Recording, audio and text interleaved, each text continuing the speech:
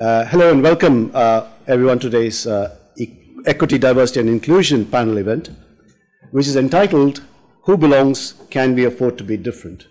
It's quite a broad area and you're most welcome to uh, make the most of uh, what that offers. My name is Dr. Sunil Kumar and I teach in the Department of Social Policy at the LSE. I was the Dean of Graduate Studies for five years and I chaired the, amongst other things, chaired the Equality and Diversity Forum, and I have a, a strong interest in equality and diversity issues. Um, and I think when we're talking about uh, the event, as you know, it's part of the LSE's uh, festival, Beveridge 2, which has been taking place since Monday, 19th of February to, and finishes on Saturday, 24th. And as part of a whole year of activities at the LSE, rethinking welfare the welfare state for the 21st century and for a global context as well. Uh, much of the festival has focused on reimagining the giant issues of housing and urbanization, education and skills, health and social care, the future of work, and the challenges of poverty that Beveridge uh, identified.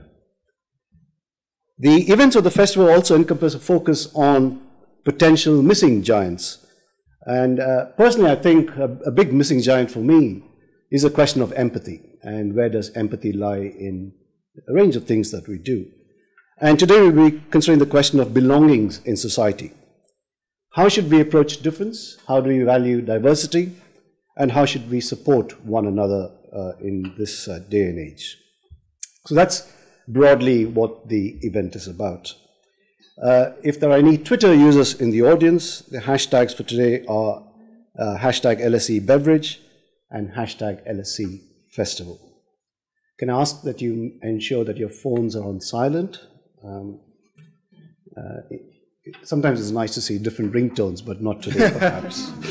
um, also, to let you know that this event is both video and audio recorded and will hopefully be made available as a podcast, subject to there being no technical uh, issues uh, uh at hand.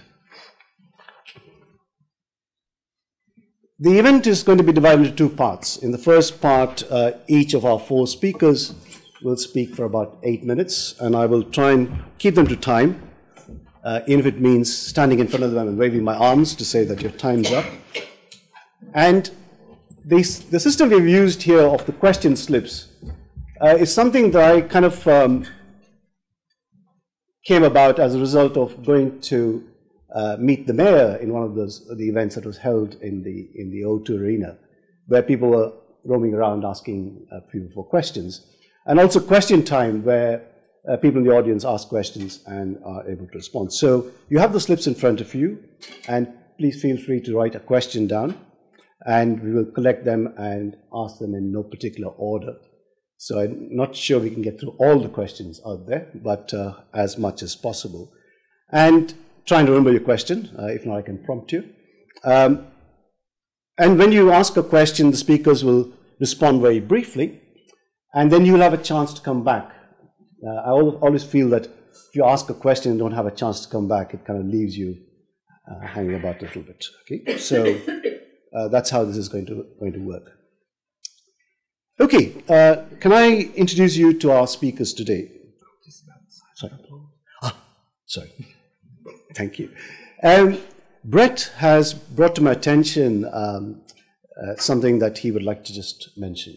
And it's called silent appreciation. Visual applause. Yeah. Visual applause, yes. Okay.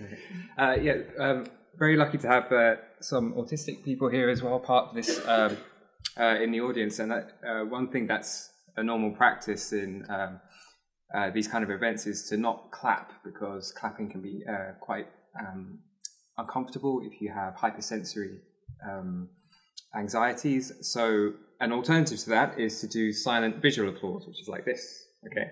Uh, and so um, it's very difficult to remember this. Um, people will forget, but perhaps I'll I can lead and you can uh, copy me. Can I just see everyone's silent yes. visual applause? Okay, oh, Excellent, wow. fantastic. Oh, sorry,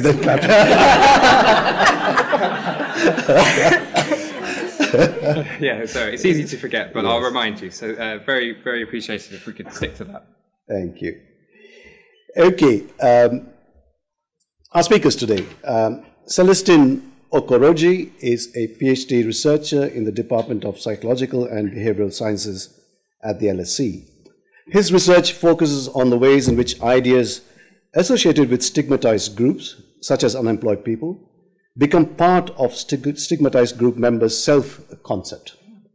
Uh, Celestine's research was awarded the Popular Prize at the 2016 LSE Research Festival. Okay?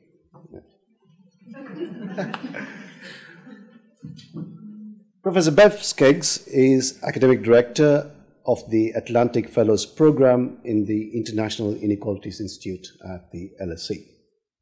Um, I'm sure you will say more about uh, what you're going to talk about. Dr. Jana Uher was a senior research fellow and a Marie Curie fellow at LSE from 2015 to 2017. She's now a senior lecturer at the University of Greenwich. Uh, we forgot to appreciate Bev, so that's.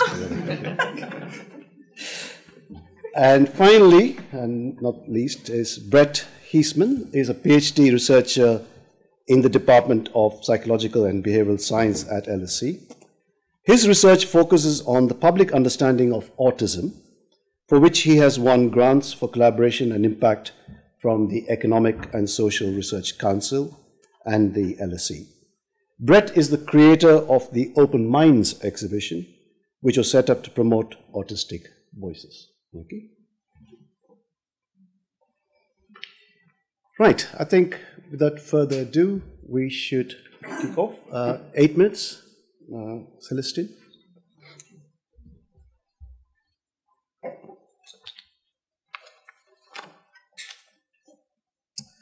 Okay. Uh, hello and thank you all for coming. Um, I hope everyone can hear me at the back. Yeah, good. Um, it's great to be here, and it's an honor to be invited to speak at this event with colleagues coming from my home Department of Psychological and Behavioral Science and my home away from home, the International Inequalities Institute. So the title of our event today is Who Belongs? Question mark. With the subclause, can we afford to be different? So I will immediately answer those questions by saying first, unemployed people currently don't belong, or at least they are not seen as belonging and this is the cause of much unnecessary pain and suffering. It also defeats the imagined purpose of the welfare state as it relates to unemployment. That is to say, welfare policy and the job centre regime doesn't do what we probably think it should do, which is support people into work. So that's question one. Uh, as for question two, the question itself betrays at least one, in my opinion, fallacious assumption, though I suspect that's probably on purpose. The assumption is that we can afford to not be different and just go on indefinitely as is. I'll be arguing then that we cannot afford to stay the same in relation to how we do unemployment support. Okay? So, what do we know about unemployment in general? Uh, well, we know that people who are unemployed have significantly lower levels of psychological health compared to those who are employed. Unemployed people are also twice as likely to be clinically distressed, uh, and unemployed pe- unemployment, sorry, is associated with an increased risk of suicide and self harm.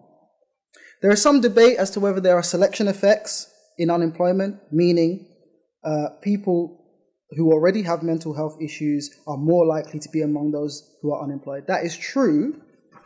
However, we can't say that people in general become unemployed because of mental health issues. Rather, the best evidence suggests that unemployment promotes poor mental health. As I'm sure many, many of you well know, psychological stress, particularly chronic stress, uh, is related to a host of physical health issues such as high blood pressure, lowered immune response, headaches, and so on. When we talk about the UK in particular, we have to discuss the current rampant conditionality. As we are here celebrating Beveridge and the founding of the welfare state, it is important to note that for all intents and purposes, the welfare state was supposed to be a universal system, which gave citizens the right to access social security provision. However, what we now have is more like a prospect of receiving unemployment benefits, but only if you display the correct characteristics and meet behavioral conditions. I was lucky enough to be invited uh, to be involved in a panel in the in, uh, earlier on in the festival with Professor Peter Dwyer from the University of York, and he presented some evidence suggesting that the role of JCP is not to support people to find work, but rather to check that they have completed their job search requirement which can mean applying for up to three jobs per day or 42 jobs every two weeks. In my early research, I interviewed many people who were unemployed or had previously claimed JSA, and I heard many similar stories, including having to continue to attend the job centre even after being sanctioned. So, meaning going to the job centre even though you won't be paid your job seekers allowance. As I mentioned, conditionality doesn't just relate to behavioral controls, but also to psychological controls. People can be sanctioned for not displaying the correct attitude. This has been referred to as psychocompulsion in the literature. To receive your benefits, in spite of all I have just received, you may also need to appear happy. My work focuses on how, as a society, we allow such a system to perpetuate. Given the original idea behind the welfare state, pooling resources in order to pool risks. I have done a social psychological longitudinal analysis of political rhetoric concerning the welfare state, in particular unemployment. I don't have much time here to discuss all of the findings, but the crucial one here is the way in which politicians create dichotomies between people in work and people out of work. For instance, when John Major back in 1996 said that he hates the welfare cheats, or when we use phrases like scroungers to characterize people claiming uh, unemployment support. This creates a clear boundary between us, the hard-working, law-abiding citizens, as Iain Duncan Smith put it back when he was Conservative Party leader, and them, the lazy benefits scroungers. In social psychological terms, this kind of rhetoric creates a group of workers pitted against an outgroup of non-workers who are undeserving of support. And when we start to believe that the boundaries between the two groups are impermeable, that is, that people who claim benefits could never be us and we could never be them, it opens the door for both high levels of stigmatization and direct discrimination.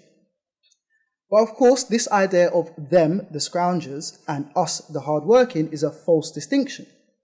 Anyone who is not rich could, could lose their job and need to rely on the welfare state. After all, that is its purpose. So, how can we get social security as it pertains to unemployed people to work properly? Well, in the first instance, we need to recognize unemployed people as being the same as we are, capable of hard work, intelligence, charisma, confidence, leadership, and so on. But more concretely, we need to get away from the idea that we can shame people into work. Although I don't have the evidence now, my hunch is that stigmatization which unemployed people face directly reduces their ability to find work. We already have evidence that in domains where groups are stigmatized, the understanding that others think badly of us can reduce our performance. But the organizers have also given me license here, whether they know it or not, to think a bit further into the future and a bit more radically. Because even if we got rid of the sanctions regime and made the job center system more geared towards helping people into work rather than assessing the amount of job search activity they do, people are still likely to be stigmatized because they claim benefits. One way around this would be by introducing a universal basic income. Now, in some ways, this is controversial because there are many parameters to think about, such as the actual amount it is set at, how we can change income tax in line with that. But at the level of welfare policy, what happens to job centres or whatever their equivalent would be? Because, of course, the assessment element becomes unnecessary. But we would still want some kind of support for people trying to find work. What UBI would do, though, is remove the possibility of intergroup relations where on the one side we have benefit claimants and on the other side we have everybody else. The concept of the benefit claimant would cease to exist altogether as it presently stands. And I believe this is the best possible outcome for anyone who finds themselves out of work and needs support. Before I finish, there, are also, there is also another reason why universal basic income may be the ultimate solution to the issues that I have raised. And that is the real prospect that robotics and artificial intelligence will soon make many, many jobs obsolete. This is still a hotly debated topic, and clearly we have seen many huge technological advances in the past. However, I do think this time it is different. Previously, it wasn't possible for machines to make themselves better without human agency. Now that is a reality. Machine learning algorithms and so on can teach themselves to be better, to find new ways of doing things without human intervention. One study done in Oxford suggests that almost half of all jobs could be done by machines in the next two decades. The current welfare state would be unable and unsuitable for coping with that eventuality. So, to summarize briefly, to create a space for unemployed, unemployed people within the collective, we must accept that we too could be unemployed at some point in the future. So, we need to imagine unemployment support as if it were us and not only something for undeserving others. Longer term, we really need to think clearly about what universal basic income could do in terms of allowing unemployed people to exist without stigmatization, which may itself hinder them finding work. Thank you. Hi, well, thank you for having me and thank you for coming. I have a lot of slides. I'm not going to read through them all, so they're going to be available if you need to read them afterwards um, but there's a lot of information on them. I'm going to be talking about class. Class has disappeared off the diversity agenda. It somehow slipped off all the European law, off most British law. It's not there. But as we know historically, it's probably the one of the most important uh, relations of structural inequality that generates difference and underpins most forms of difference. So, I'm going to begin with Okay, so I'm going to argue there are differences we really, really cannot afford, and that is the massive redistribution of wealth upwards over the last 30, then 20, and intensified in the last 10 years. The top 1% of our society have managed to grab income and wealth. It's very difficult to find statistics on wealth because, of course, it's all about tax avoidance. So you can see there's been this huge increase at the top, and then at the bottom, we have this massive decrease in terms of wage freezing and the decrease in types of employment, in unemployment, in zero contracts, in the race to the bottom.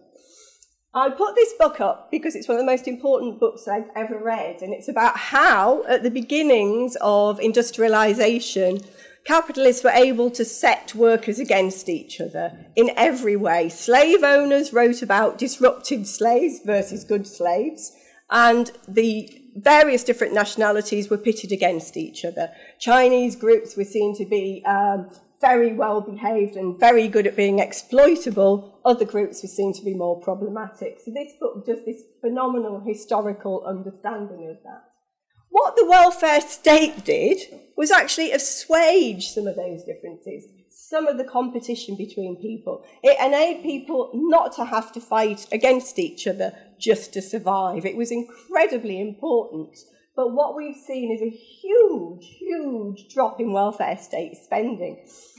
And so things like life expectancy in this country has, has decreased. Deaths have increased massively. I could, I was trying to work out which statistics to include, and it's really hard to know in eight minutes. Um, but you can look at all these books which do massive statistical analysis. So, Spirit Level, Why Equality is really good for us. Danny Dorling, anything by Danny Dorling. Danny Dorling's Inequality in the 1%. Danny Dorling is fantastic. And then Austerity Bites. But phenomenal statistical analysis of the huge class divides we're now seeing in terms of life expectancy, in terms of health. We look at what's happened to the disabled, and um, a massive decrease in social mobility. What's significant is this is the total welfare state spending here. The majority of welfare state spending is on child benefit and pensions. 46% of it's huge. The thing I want to draw your attention to is how much estimated tax evasion occurs that could literally pay for half of the welfare state. If we could capture all the tax that we think we know about, and that's from the fantastic tax research units, and there's sure to be lots more, as Paradise Papers revealed, if we could actually grab the tax back, we could easily fund the welfare state we could have a society where people are not pitted against each other. So that's very significant. I was so shocked by this uh, DWP tweet that came out last week, which was actually saying claiming to be living alone is one of the most common types of benefit fraud. And I just put those, put the emphasis, why do we have so much emphasis on benefit fraud when actually tax fraud is the real problem where all the money is going, where all the wealth is going, where all the inequality is being shaped. Why, and this is going to be my next three slides, which are very, very quick, why do we have this legitimation? Why is it? It follows perfectly on from Celestine's, which I didn't know. Why have we seen the Victorian divisions between the deserving and the undeserving reproduced as the rich get richer? Why do we have that? I did a project on reality TV, and that kind of follows into that. Uh, a large funded project which I wouldn't wish on my worst enemy. Um, but what was very interesting in terms of legitimation was how much emphasis was placed on shaming people who had to claim benefit through no fault other than their own in case they were disabled or something like that. So we looked at, and there's been some fantastic research that actually looks at the relationships between the Department of Work and Pensions. Do you remember A4E, the people who mm. um, tried to put people back to work, but were actually paying themselves 8.6 million as they did so, Emma Harrison. Um, and then this job that just horrified me so much, the fairy godmother, job mother as it's called, and was part of the A4E. So the links I want to argue, because I haven't got a huge amount of time, the links between legitimating the exceedingly rich who rob the state so they can't pay welfare benefits, and absolutely demonising the poor in the most disgusting, um, horrific, demeaning ways is very interesting, I think. This leads to, and again it follows on perfectly, this leads to most people thinking that the drain on the welfare state comes from benefit fraud.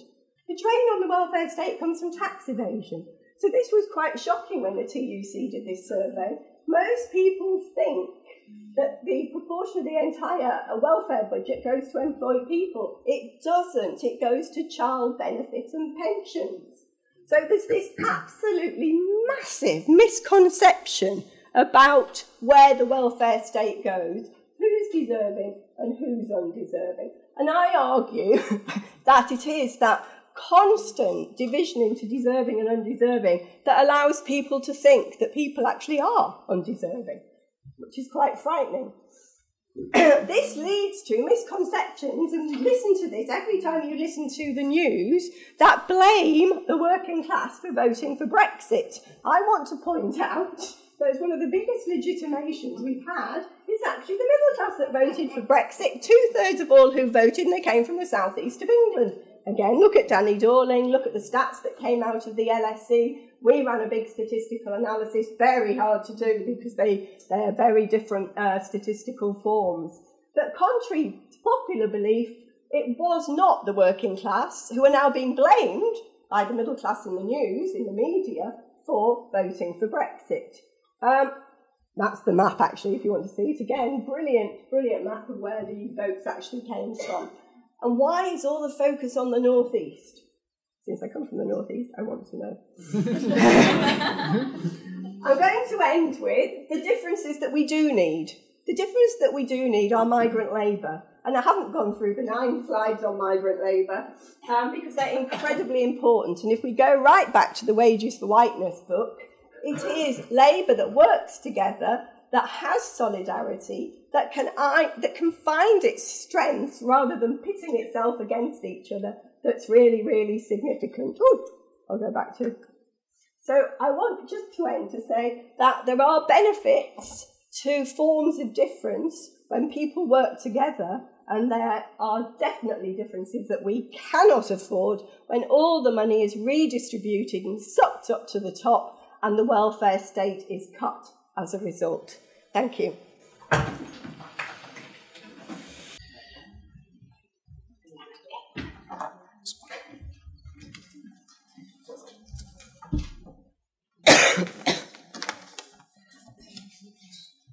Yeah, thank you very much for the invitation to come back to LSE and to present some of my research, which is centered on individual differences and personality. That means diversity among individuals is at the core of my research for more than 15 years already. And I have studied personality differences in different countries with different people and with a broad range of methods. And I've also been studying individuals of various other species, especially our closest living relatives, the great apes and monkeys. This may seem out of focus of this event, but it is not. In fact, it is highly insightful, especially for research methodology, because some basic issues become much more apparent in than in research on humans. And a fundamental issue that is at the core of my research is the clear distinction between, on the one side, what individuals do, how they behave, what they think, what they may feel, how they look like, and on the other side, what we, what people believe individuals do, how they behave, what they feel, and what they think. And when studying individuals of other species, this distinction is much more apparent. It's obvious that we cannot know what an ape or a dog may be thinking, and we tend to be much more cautious about our assumptions, how they may think. We also have to conduct careful observations because many behaviors are different from ours, and often we cannot readily understand them. But we are experts of our own species, and therefore we feel competent to perceive others' behaviors quickly and accurately. We often even believe we could directly perceive others' feelings and thinkings, although this is not the case. And this distinction between what individuals do and how they are, and how we believe they are, is at the bottom of unintentional bias, also called implicit or unconscious bias. And people of minority groups, which could be defined by ethnic or gender identity, amongst others, often report they feel they are being judged differently for doing the same things. And most of us are fully aware that prejudice and stereotypes exist and can have real consequences for people. Countless statistics show that in the upper echelons of many organizations, women as well as black and minority ethnic people are still underrepresented. Our universities are no exception from this. Many of us have also experienced such, such consequences ourselves. But despite this, and although we may sincerely reject prejudiced ideas and may not even believe that particular stereotypes are true, it is still possible that they influence our behaviors and actions in prejudiced ways. And therefore, these biases are called unintentional, and therefore they are so tricky to deal with. We all have prejudices, no matter what identity group we may belong. Over the last decades, thousands of studies have demonstrated stereotypical bias across nearly every field. Biases about others' competencies, skills, behaviors are held on the basis of attributes that are therefore completely irrelevant, such as gender, skin color, hair color, body weight, religion, sexual orientation, and parental status, to name just a few. And this is because we have acquired a comprehensive body of knowledge about individuals. And this is not no universal knowledge. It is shaped by our social cultural community and ingrained in our everyday language. In the research I have conducted here as a senior research fellow and Marie Curie fellow at the LSE, I have applied evidence based methodologies to uh, explore stereotypical biases in our judgments of individuals, focusing on assessments of personality. Personality questionnaires are quite popular. They are considered efficient means of standardized inquiry that enable accurate comparisons among individuals. And therefore, questionnaires are widely used in research and applied settings, such as for personal selection and development, and thus also to make decisions about people's careers and people's lives. Findings from questionnaire studies regularly reflect differences between people of different gender and different ethnicity. But it is still largely unknown in what ways personality ratings reflect differences that can actually be observed in everyday life, and in which ways they are biased by stereotypical beliefs. To explore the ways in which people, in which stereotypical beliefs about gender and ethnicity may influence our judgments of others, I conducted two studies, an online study and a video study.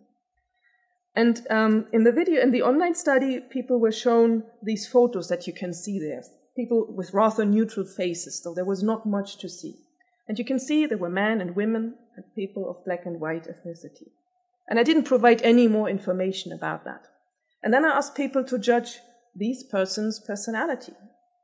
And people complained, about one third of all participants complained, that one cannot judge personality of a person in such a neutral passport style photo. I wholeheartedly agree with that. But still, we are so focused on photos. We have Facebook. We want to see people's faces, and for a reason, because we want to make up our minds about how these people may be as individuals when we once encounter them. So there was no information, and people were absolutely aware of that. And still, they provided rating. If you don't know a person, you should go for a neutral score somewhere in the middle of the scale. And there should be no reason to judge these people differently. But this was not the case.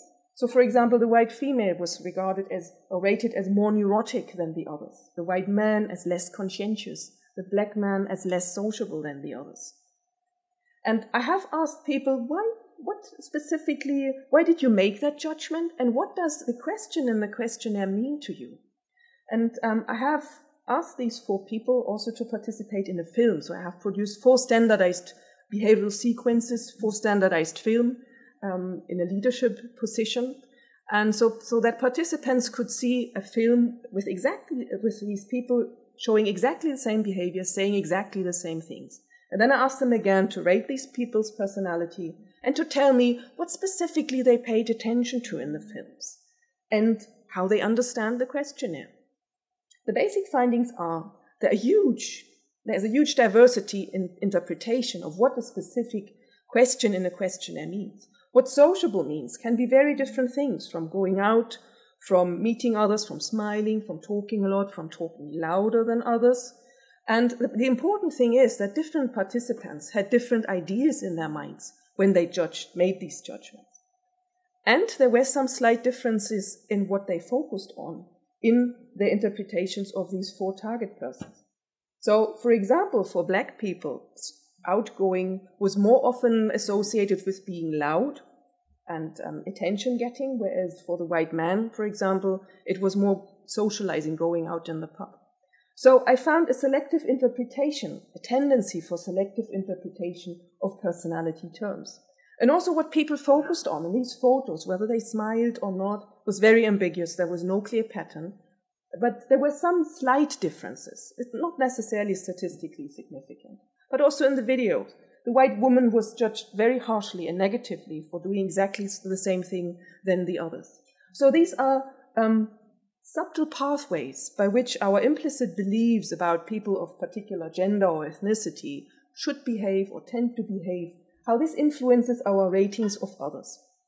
And my important point is here that by using such standardized scales, they do not allow us to accurately judge people because they're always influenced by the rater's beliefs about the person.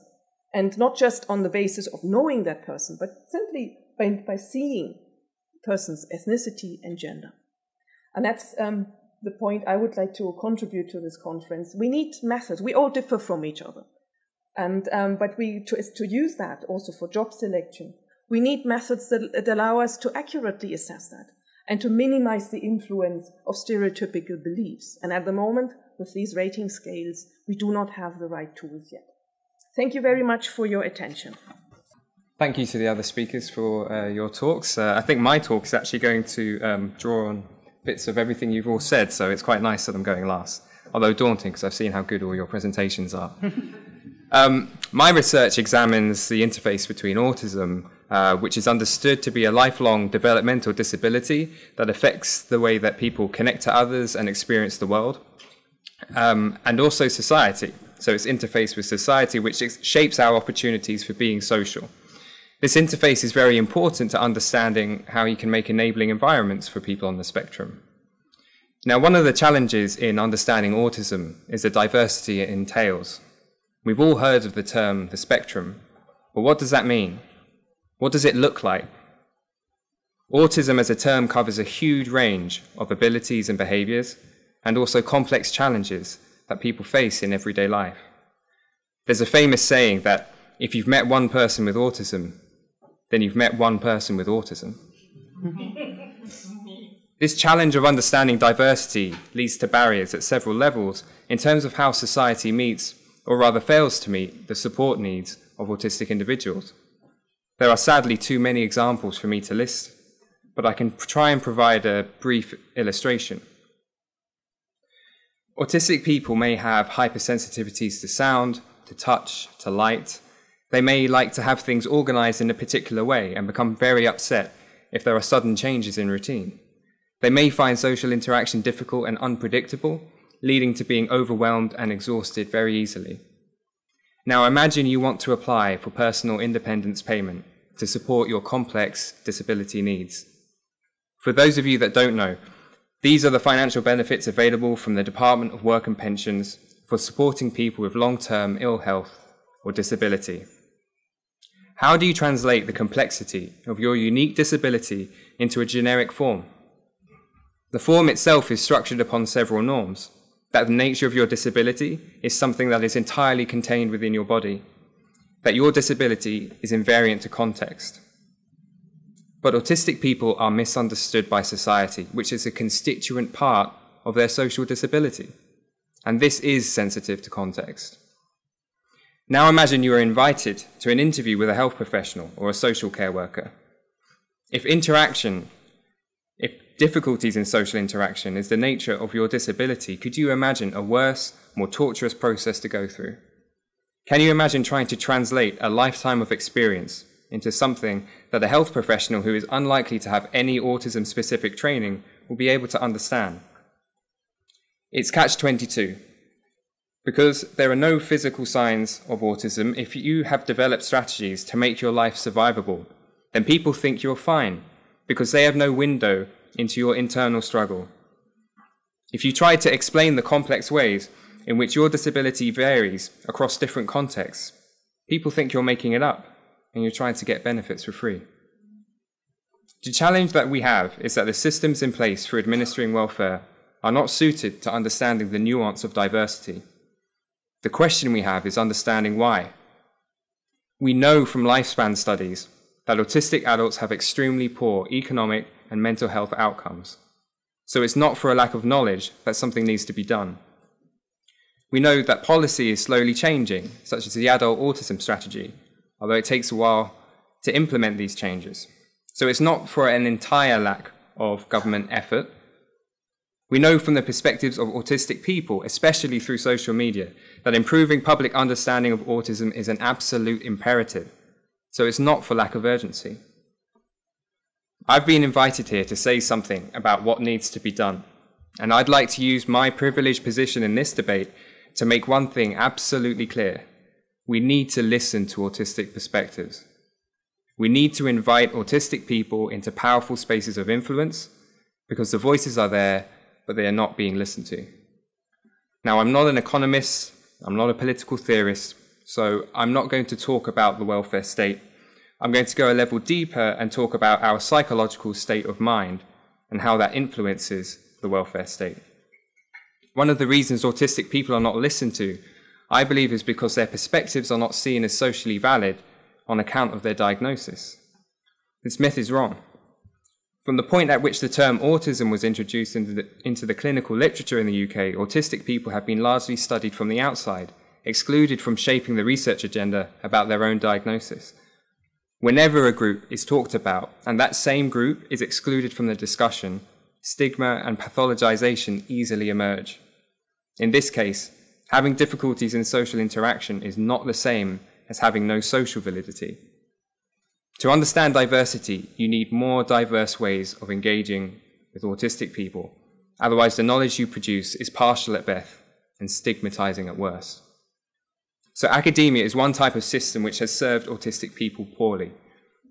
But that is changing, and it's through autistic participation that events such as Ought to Engage, which I attended yesterday, have come to fruition.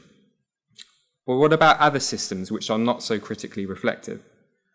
And this is where I'm going to become the psychologist and ask you some questions. And I've no shortage of questions.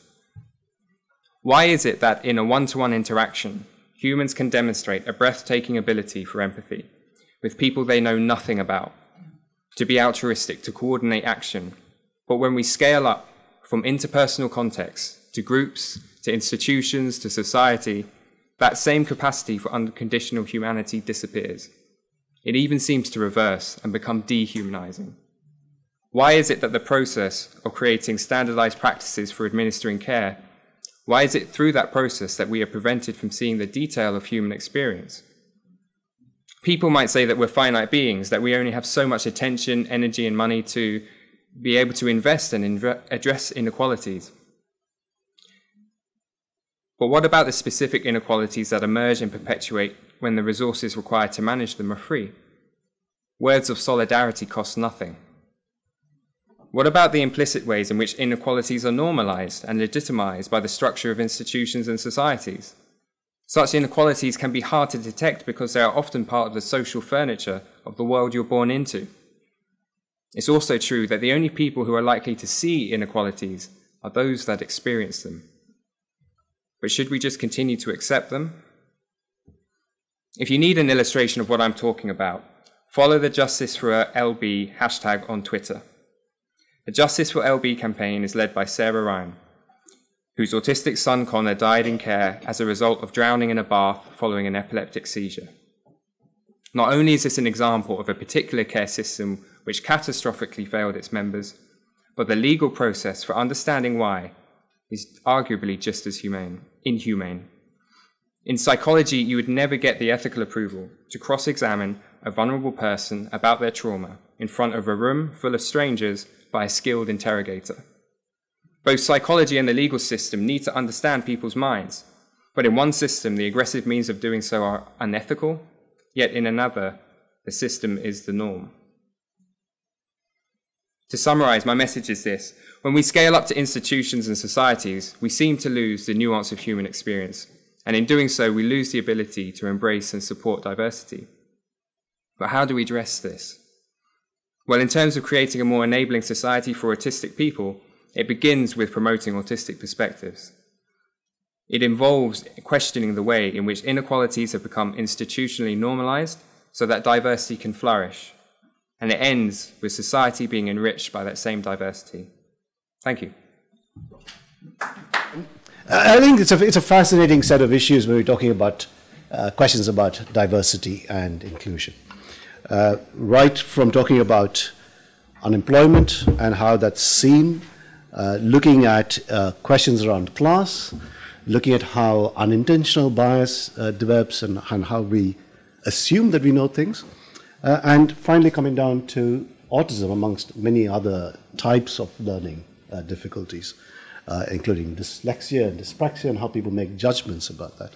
Um, I, I uh, listened to a Radio 4, uh, BBC Radio 4 program about three or four weeks ago called A Culture of Encounter. And what the program was asked was, was kind of making the point is that we don't seem to have a culture of encounter. Right? Uh, we seem to say, oh, I, I know somebody who lives in, from, Af- who's from Africa, who lives down my street. I see them washing their car, I wash my car. And that seems to be our limits to encounters. And this whole argument around uh, how we make assumptions based on not knowing. We, we, we, we think. So questions around unconscious bias, uh, the BBC, for example, has moved a lot in terms of removing names and how names in, in applications give, give out a feeling. And there's been a discussion, should we remove names of universities from people's CVs? Just have your degree. I got a degree in social psychology or something else. No name of the university. Why should that matter uh, in terms of trying to remove these notions of unconscious bias. So uh, I think there's a lot to, to say here about how we all assume. And I, and I started by saying one of the other big giants, I think, is not so much um, sympathy, but empathy. And I think a culture of candor as well. Why can't we say, we don't know about this, rather than having to make a judgment uh, in, in relation to these issues we talked about? So we'll open up to the floor. Um, Alex, any questions? sorry. No questions have come in? Okay. So, who wants to ask a question? Yes, please. Sorry, can you just wait? There's, there's a mic coming through. Thank you for the presentation. My question is, can technology such as simulation models, virtual reality, and robotics enable those who are on the spe- spectrum to adapt to and lead fulfilling lives in the modern world? Um, just here. Um, I, I mean, that's not my specialist area of research. Um, robotics and AI. Um, I don't know if it, maybe Sel can chip in on that since that was part of your talk. Um, I think one of the things that um, I get worried about when I hear about interventions and ways of supporting autistic people is the idea that uh, they're solely the problem. And so you have some um, some technology which is developed to try and get them to interact in more neurotypical ways. Um, and so, you know, you have a lot of money being invested in very uh, complex uh, robotics that can sort of uh, uh mimic neurotypical facial expressions. Um, and uh, I'm not saying that it's a bad thing. I've actually seen the uh, Zeno project at UCL, which is amazing. Uh, it's an amazing project, and they're actually collecting a, an incredible uh, amount of data that's going to be very valuable for researchers in the future. But um, one of the things I've been worried about with other projects is that there's no critical reflection about the fact that it's a very assumed norm that the neurotypical way of interacting is the optimized way of interacting. And certainly from the research that I've been doing in my PhD, uh, one of my investigations was exploring interactions between autistic people because uh, there are actually enabling norms that take place when you remove the imposition of neurotypical norms. For example, um, autistic people are able to move on from misunderstandings very quickly, which is an, a very adaptive thing to happen uh, when you're interacting. They don't search so deeply for the causes of uh, social misunderstandings, or they don't read so deeply into taking p- potentially offense at uh, certain things, and uh, uh, they can stay on task and, and move past these issues. Um, they also make very generous assumptions of common ground, which again is uh, from the outside, from a neurotypical perspective, it looks egocentric, but it's not egocentric if that assumption of common ground connects with someone else. It leads to fantastic rapport. So the interactions I've studied, I've seen um, very enabling norms that take place when you have a, a, looser expectation of what social coordination is. And when you have uh, technologies being developed that are trying to reduce that to focus on very tight social coordination, I think that there is some uh, epistemological problems with that. Uh, and so definitely I think the role of the technology um, needs to critically reflect more on the types of norms that are being assumed when it's being in the design process. I think it would also benefit from autistic consultation as well. I'm going to assume that we all agree that difference is valuable. And so my question is, how do we protect the value of difference in a situation where the global industrial complex is based on creating sameness and a one size fits all world?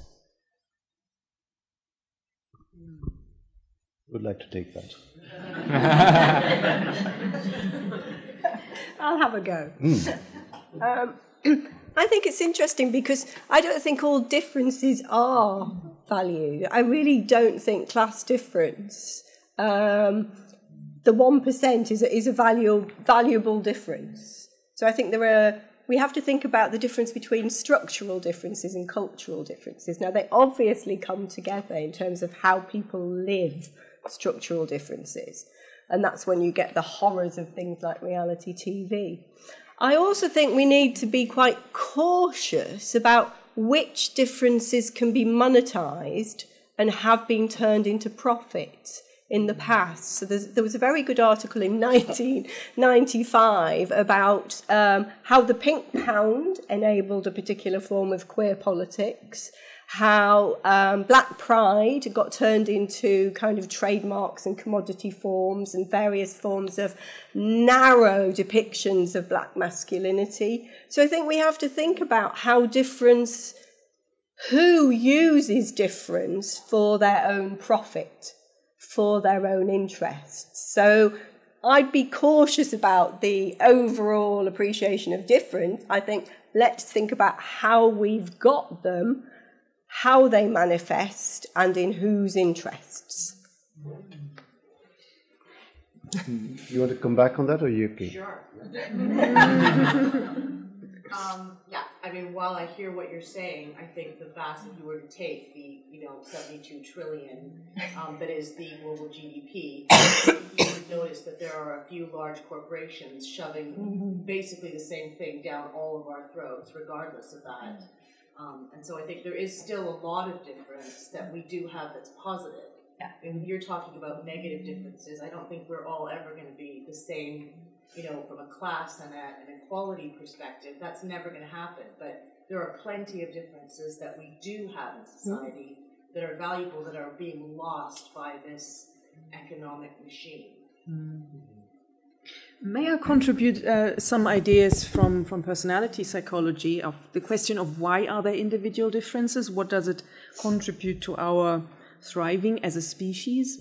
And um, there are some evolutionary considerations saying that this diversity within a species allows us to um, acquire and to have a broader portfolio of how we could be as a species. So we actually need this diversity to thrive and also to reduce intra-species uh, competition. If we were all the same, we would all strive for the same goods, to strive for the same places. So we need that competition also to uh, that, that, diversity also to get along with each other. And I believe um, the diversity that we can observe in the human species is much larger than what we can observe in other species. And other species, and as I've said, I've studied also great apes, are highly complex also in their individual differences. But um, still, the behavioral differences are not that pronounced as in humans, which is part of cultural differences and so on. So actually, um, this thinking that um, some economic models require us all to be the same, that would not function. Yeah, we need this diversity to have different ideas, different life experiences, different perspectives on the same things, to have new inventions, also to, to have individuals who are more anxious, who warn us for dangers. Yeah, so it's uh, that the more bold individuals go all in one direction. We need also these warning individuals who say, "Oh, that may be dangerous," and that prevent us from from going into directions that would drive us as uh, drive us as a community into the wrong place. So we need all these different voices to collectively end up with some more de- better, greater developments and better developments for all of us. Um, thank you very much for four um, really great presentations. Um, this question um, I'm thinking about from a perspective of my own work around diversity and inclusion, and it's possibly for all, although it's inspired by, is it Jana's presentation? Um, I'm interested to understand how do you think we should be thinking about and reconciling the focus on individual and personality based difference with the very real collective and structural issues that we have in relation to these collective identities. And that seemed to be something that sat underneath as an idea all of the different presentations we heard. I'm happy to explain what I mean by that question if it's not clear, but. Yes, may I ask you to, to explain a bit more what you what you mean by that? So, I the the empirical um, evidence base seems strong in in the sort of work that I've come across around unconscious bias, for example, or individual differences. But I suppose my concern is the way I've seen it adopted uncritically. So, for example, recently we had, I can't remember which diversity and inclusion manager from, a major firm came out and said, well, you can have a diverse room of 12 white males, and that's fine because we're all individually different. And so, uh, you know, there are multiple examples of this. I see it in my own work. I'll go into a room and I will present a, set, a series of evidence that cross different kind of categories or areas of difference, and people will be like, "That's great. Let's just focus on this area." So I'm I'm wondering what you know is the focus on individual and personality difference at risk of obscuring some of the structural issues, and how how should we be thinking about that? I would say if you would include other people as well, then the individual differences would be much larger than just considering um, white man. So um, that also depends on what we understand by personality. I have a quite holistic understanding of individual specificity in all kinds of ways in which individuals differ in their behaviors, what they're thinking, what they're feeling.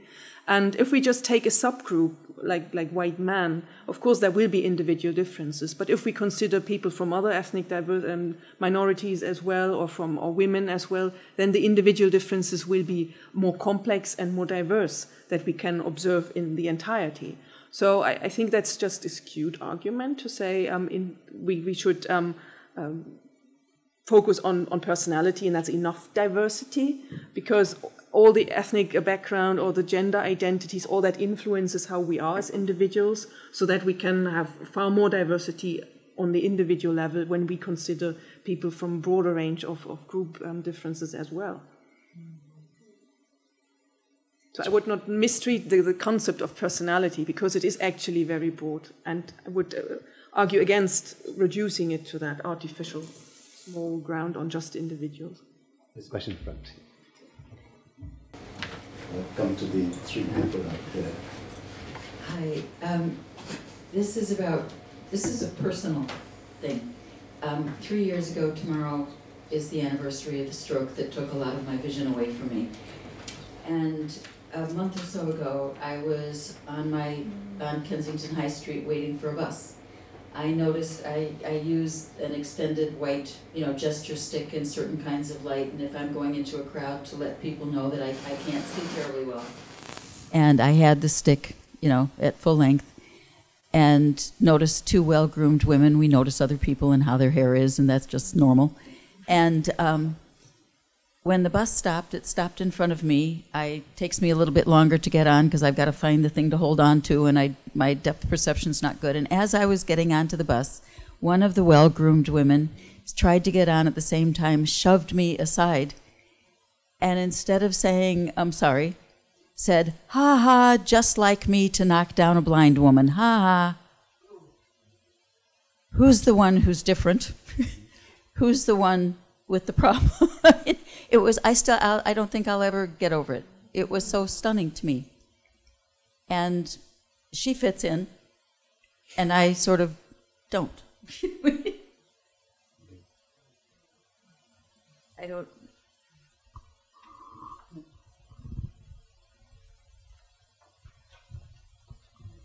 Silence. no, no, no. That, I, I, I, I, respond because my, my mother was blind, and that is not unusual. The absolute disregard for disability is is astonishing, I think. Um, and it never ceased to surprise me as she got worse and worse in, in her capacity to move around space. So it, it doesn't surprise me, but it also brings us back to, to bigger issues of how respect is given to people who have various different incapacities. And I think we live in a remarkably cruel society. If you look, I mean, a lot of people in here, I'm sure, know much more about this than me, but if you look at the, the sanctions that have been applied to, to disabled claimants and how many have died as a result of poverty, lack of care. My mother, uh, you know, really suffered because she was unable to feed herself. So the cruelty around care provision in the welfare state at the moment is just horrific, absolutely horrific.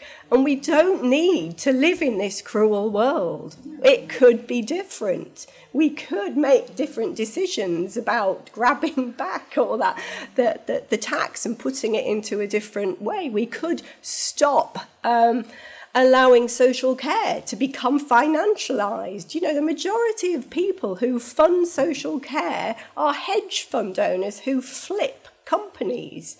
That the economics of care is, is brutal and extraordinary. So for me, we have to change the cruelty, the culture of cruelty that has become normalized, that allows somebody like you or my mother to be just knocked over to think that that is is right is is just so morally bankrupt. And I think we really need to change the moral terms by which we live. Yeah, yeah uh, I, I, agree with the the sentiment that there is a culture of cruelty, uh, but I don't think that it, it parallels individuals. I think something happens when you scale up from individuals to um, larger groups and institutions and societies where there is that loss of uh, empathy.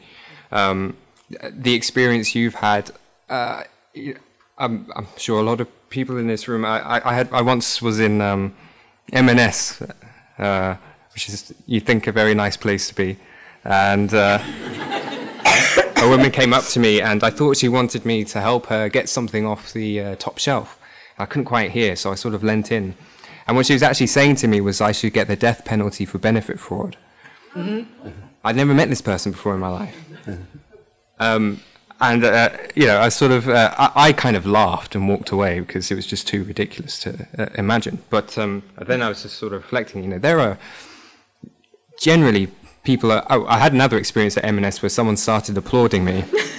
M&S is a, yeah. Are you in there a lot? It's, well, I, I would like to. Yeah, I'm. I, am i am not in there a lot. I'm not. I'm not your M&S customer. Okay, that is not my identity. Uh, it, these things just happen. In, I think it was Waitrose actually.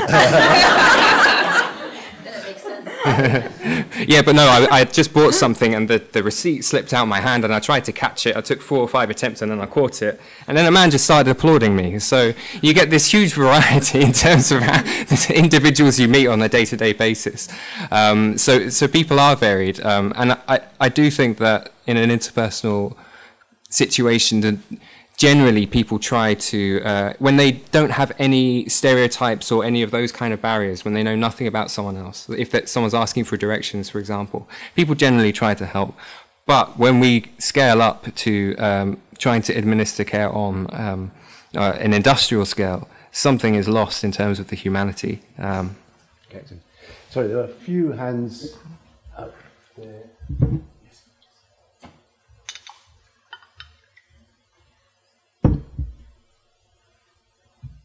Hi. Um, so this is a question for Celestine. Um, firstly, um, you mentioned about universal basic income and uh, it potentially reducing stigma. I just wonder whether actually the stigma would change to those people that work and those that don't and are on universal basic income. And then, secondly, um, would it is there a, a slight risk that if universal basic income was brought in by a regressive government, that actually they would use that to justify taking away from public services. Um, and I think the red flag for that is people like Milton Friedman, who actually were the architects of Thatcherism supporting UBI. Yeah, absolutely. Um, great question. Great questions. Thank you. Um, so, in terms of reduction in stigma, so I try to argue if you get UBI, there is no longer a benefit claimant, but there could be person on UBI, right? Like who only has UBI. That is possible, but unlikely because I would hope.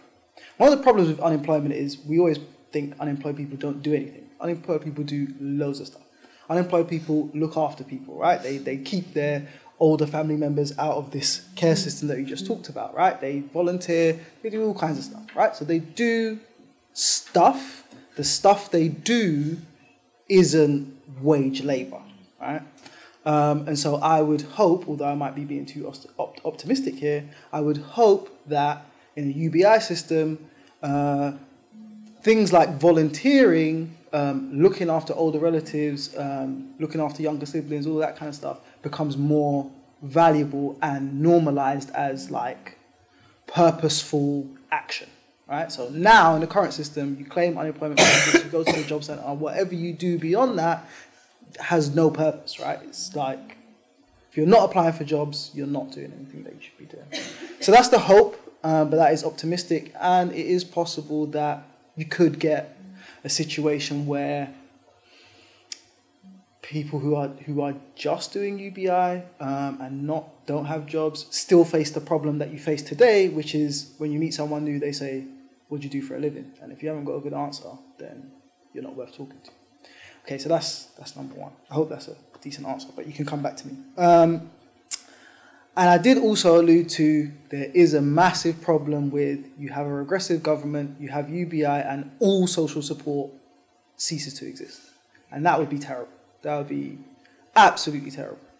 Um, but it is possible, which is why UBI has, has so much support from both right and left So on the right, the argument is we give this UBI, we stop all, all kinds of social support, and it makes it basically easier for us to have a tiny government with no support for people. Um, I wouldn't be advocating that, of course. Um, I'd be hoping that we still have forms of social support for people who want to engage in it. But it's different when people can choose to engage in systems of support in comparison to when they are forced to engage in a system which tries to, as I say, shame them into employment. So that's a big danger, big danger. Um, and uh, uh, yeah, uh, I'll be here trying to make sure that that doesn't become the case. It's amazing also that uh, India, for example, is experimenting with the universal basic income. Mm. And uh, the recent, uh, the government recently, demonetized uh, notes and is trying to push for a cashless economy, it's all to do with how you commodify. You know, you commodify transactions. So every transaction that's undertaken, somebody's making a profit from that. And, and the idea is you will get rid of the public distribution system, you'll get rid of free uh, midday meals in schools and so on and so forth, where the argument has been that with better nutrition, better iodine and salt and so on and so forth, could, could actually benefit people. So now that you've got the income, what are you coming to us for? Mhm. That, that's the kind of danger that might be there. Yes. Thank you very much. Really interesting presentations. Um, two questions. One being, we talked a lot about um, people getting benefits and the unemployed, but I went to a conference within the civil service the other day, and they spoke about one of the issues in this country actually being 8 million people being in poverty and in full time jobs, um, which is striking. So I wonder whether it's enough to take that step, give people an income, or whether we need to think about a more radical way of restructuring the entire system. Sorry, it's a really loaded question, but I just wonder about what your thoughts were. And the second one is um, really interested in gene modification and correction. So I know there's been a lot of chat about CRISPR and introducing this idea that we should correct um, so genes, so for example, cancerous genes or various sort of um, almost improvements in one's DNA. And I wonder whether that would lead um, to lack of um, diversity. So, if you like, it would lead to a culture of sameness um, that's massively propelled by scientific breakthroughs. Um, so, yeah, I just wonder whether you think that would be a good thing or, or not. There was also the huge number of children who are carers. I mean, that's, that's been coming out a lot, you know, and how um, Yeah.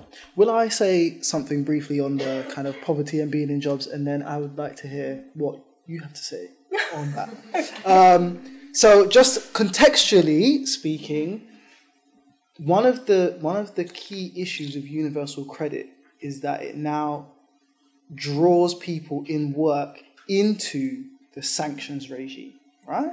So okay, it was already bad that if you're, mm-hmm. and just like FYI, I was mm-hmm. long term unemployed, right? So I know, I, I lived it, right? So if you're unemployed, you go to the job center, and if you do anything wrong, you don't look right on the day, you haven't applied for your jobs, whatever, you can get sanctioned, right? And I'll just interrupt because that was A4E doing the sanctions. I think 8.4 million scandal of Emma Harrison.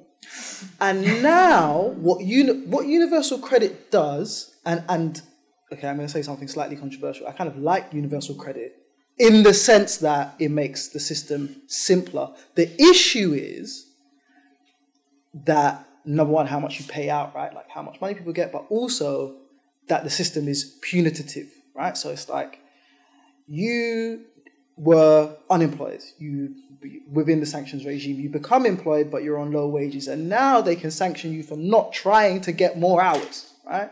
So that's kind of where we are. But what that means, I'm not sure. Like what what that what, what that means, or what we should do about that, or how we should change the system, apart from UBI, which I've been talking about all day. So maybe you have another thought on how the regime itself, the whole benefit system, could be different. It is, it's a massive question. It's a huge question because it's about um, enforcing regulation around things like zero hours contracts. Um, because that's one of the reasons why people end up in poverty. Um, and, and it's the working poor. They're the largest group of the poor at the moment. And I can't remember the exact figure, but it was, I think it was 26% are all working. Um, but the, the real problem is with something like zero hours, it's impossible to get childcare if you suddenly have to go out to work. Mm. So, it, and that means if you can't suddenly answer the call to turn up for work where you may not get paid, even if you turn up, uh, you will be sanctioned if you don't take that job. So right. the, for me, it's both the problems of the um, the welfare state system itself, which is punitive, but it's also the real structural problem of zero hours contracts, which I think we underestimate mm. as a massive political issue and a hugely gendered issue. Because anybody who has to look after children knows they can't just go, oh, I'll go out to work and answer a job call now. They have to organise childcare. It's very difficult to organise. So massive. You you've hit on probably you know one of the largest structural issues around how do we reorganise work. And the fact that all these zero hour contracts have been considered legitimate, um, the, the massive move to platform jobs like Deliveroo, Uber, the type of uh, population that can actually do a lot of those jobs. They have to be incredibly agile, they have to be uh, very disposable in terms of ability to respond. So we've got this massive restructuring going on, which literally is a race to the bottom in terms of provision but no welfare state to support people. Absolute, where the welfare state was designed to support people through times of precarity, through times of difficulty, we don't have that anymore because they get sanctioned as soon as they drop. They get sanctioned, and the number of children in poverty in this country is a disgrace. You know, the seventh richest country in the world, with massive numbers of child poverty. And part of that is to do with the fact that people can't get access either to uh, welfare, which should be supporting them through difficult times, or the only jobs available are zero hour contracts. Jana, you want to say anything about the, the genes? Genes? Yes, I would like to say something about. Um, the techniques that you mentioned were, are mostly used to um, to eliminate diseases that have a profound impact on an individual's ability to survive at all. So mostly these are diseases that occur very early in life, and we had some in the media, such as the baby Charlie. And um, such diseases cause an enormous suffering. And um, all families affected with, with um, such diseases end up in, in poverty and end up in unemployment because it's more than a full time job to take care of that. So of course I know about these um, the trade-off that we in the long term see of modifying our genet- our genome. But from a scientific point of view and on individual differences, I can um, reassure you that there won't be a risk that we will all one day be the same. Mm-hmm. Look at identical twins. They are genetically identical. But what we know now, there is an enormous gene environment interaction going on from conception. So even though we have genetically identical individuals, all the environmental interactions, the hormonal milieu in the uterus, um, different life experiences that we have make us different also on the genetic level because it alters the activation and deactivation of genes. So there won't be any risk that one day we will all be the same just because there are some genetic and um, modification techniques. So, as I said, I see the risk that there one day people may want to change properties that are actually healthy, like eye color, hair color, skin color, whatever. But at the moment, and I think that's physicians' task to focus on these diseases and to help reduce the suffering that comes along with diseases we can't imagine, such as mitochondrial diseases, where it's almost impossible to survive with that at all. And this has enormous consequences, all what we, we spoke about here. Yeah, what support does the state offer for those who are affected with such lethally ill children? What support is there? What, uh, how can they organize their lives, maintain their occupations? Um, and, and that's what we have to think about as well. Sorry, there's a couple of people that row. I want to ask a question. Yeah. Yeah? I'll come back to you.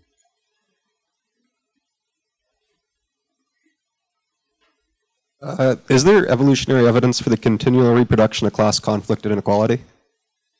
Ooh. Ooh. Evolutionary? You mean biological? Evolutionary or biological, yeah. I mean, the, there, I mean, there's a theory in social psychology called social dominance orientation, which is supposed supposedly meant to have some kind of evolutionary underpinning. Um, and I think I don't want to do massive injustice to it, so social dominance orientation, go look that up. Um, but as far as I'm aware, um, there is some argument that in all cultures there are like two forms of prejudice, which are about uh, gender and age. Um, and apparently, this is meant to be universal. Um, but in my view, we are like beyond evolution now. Okay, evolution was a long time ago. that was in the sense that, in the sense that, right, we're not fighting for food and, and water, right? Okay, this is the Brexit happen, ha- hasn't happened yet. okay. Brett wins. Joke of the night, right? Brexit hasn't happened yet, so maybe we will be fighting for food and water. But like the the, the era where uh, we human beings were evolving seems to be like long past, and we're kind of very privi- privileged in the UK to kind of, I would say, act beyond uh, evolutionary impulses. Maybe I'm wrong, but um, Can I, sorry, can I just ask uh, why, why you asked that question? What, what, what was your thinking? Why not? I asked about your thinking, not a response.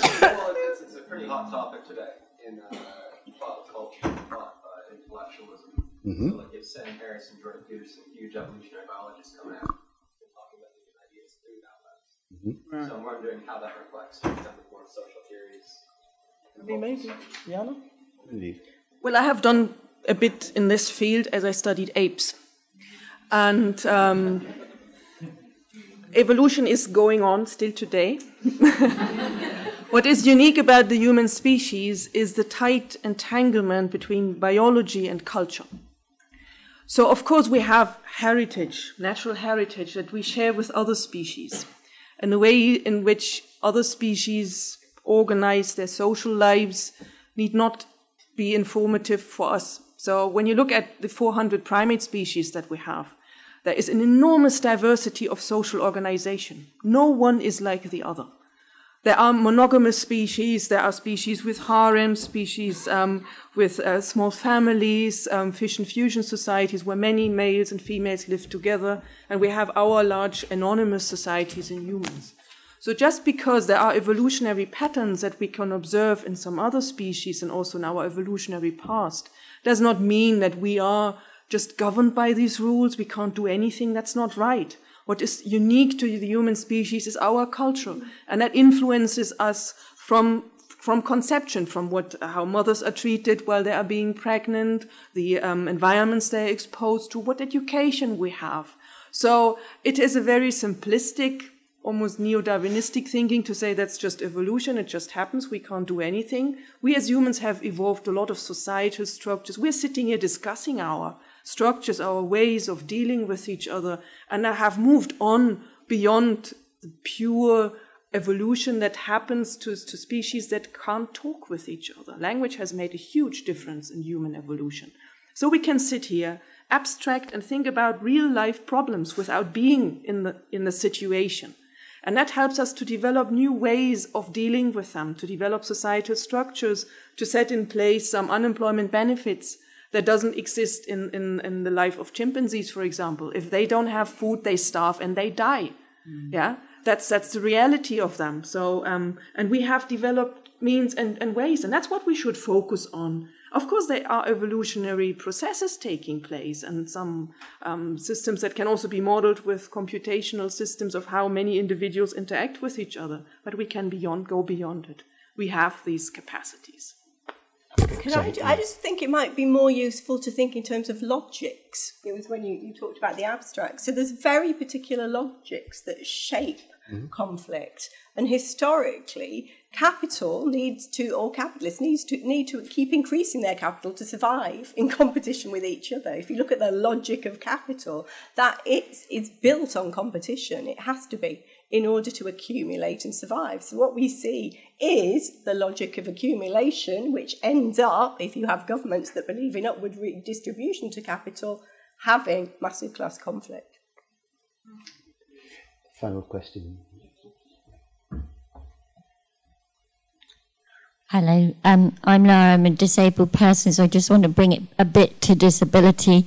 Um, so obviously, this government has taken us back 40 years in terms of disability rights. Um, I'm a visual artist as well, so I'm very familiar with the disability art scene.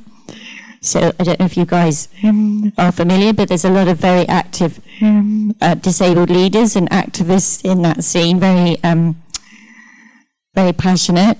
So, so my, my, my, my, uh, one of my questions is, um, well, also there's another aside, which is that uh, currently medical students are getting almost no disability equality training. So, in a four or five year medical course, some of them are getting nothing, and I know that because I used to teach five years ago at Bristol University, and they used to have one week called Disability Matters.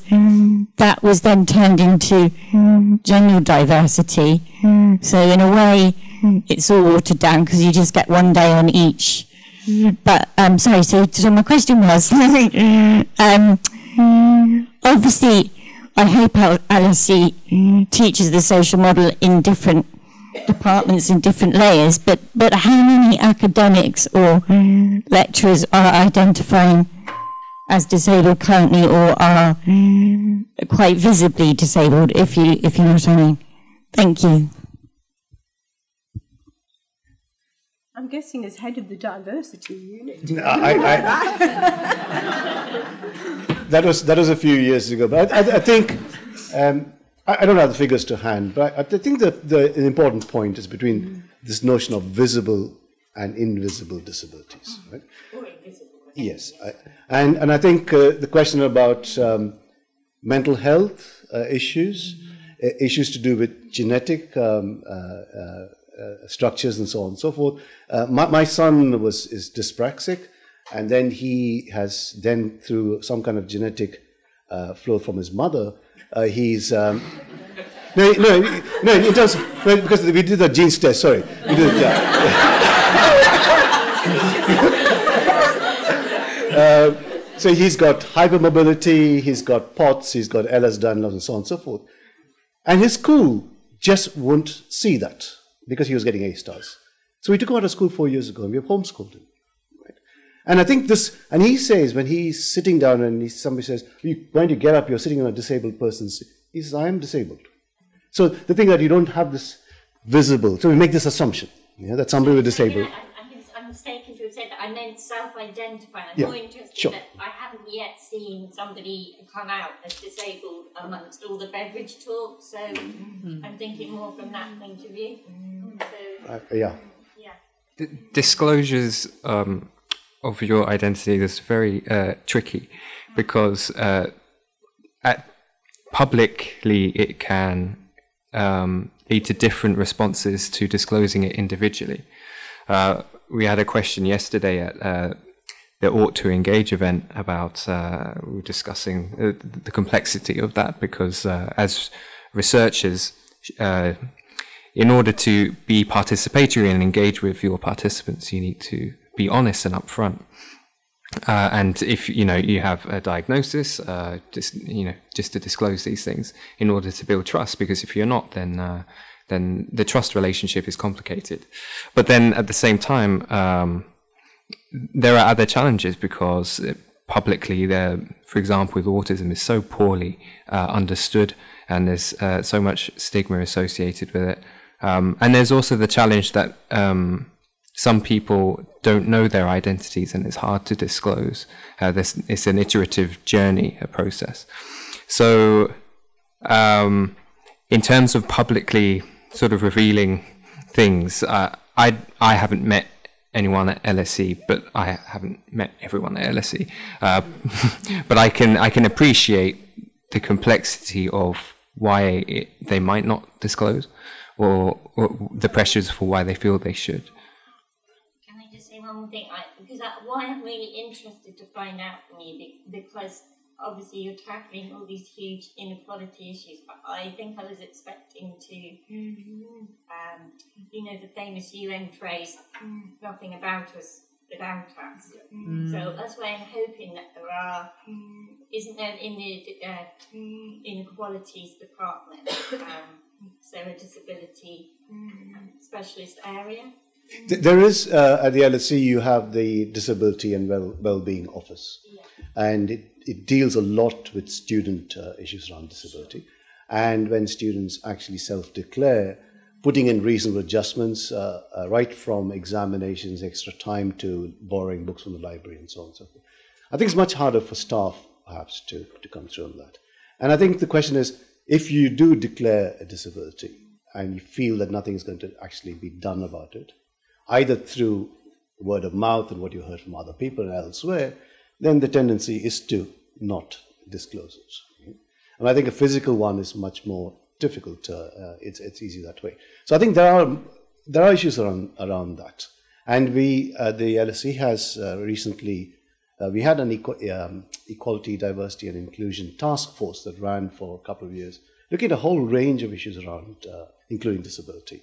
And uh, a unit has been set up to, to look at these things. But I suppose uh, unless there is responses are forthcoming to the kinds of disabilities, and I said it's that's a whole range, that um, people don't feel that there's something there for them to gain from it. Mm. Um, that, that's how I would see the current situation. Been. We have uh, gone over our time, and, and nobody seemed to have made a fuss of wanting to leave. Um, is there are any other burning questions? One person, or shall we say thank you to our speakers? Let's say thank you to our speakers.